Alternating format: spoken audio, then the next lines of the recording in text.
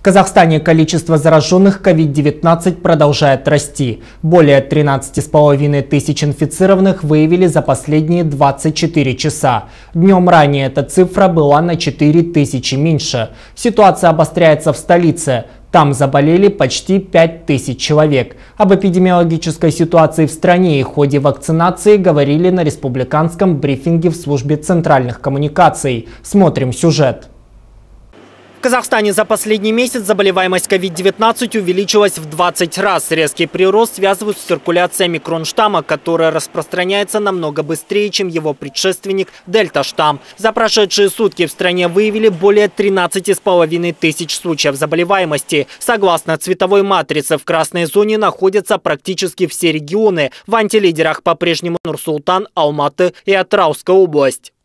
Если в конце декабря в стационарах получало лечение меньше трех тысяч человек, то сегодня это более 7 тысяч. Количество пациентов, получающих лечение на уровне поликлиник, также увеличилось на 4,8 раз.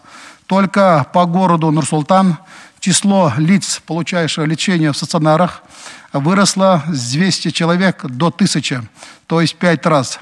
Эпидситуация оставляет желать лучшего. Казахстанцы напрочь забыли о соблюдении элементарных санитарных требований. Особое внимание – иммунизации населения. Настоятельно рекомендую каждому казахстанцу проявить заботу о собственном здоровье, здоровье своих близких, родных и в кратчайшие сроки пройти и вакцинацию, и ревакцинацию.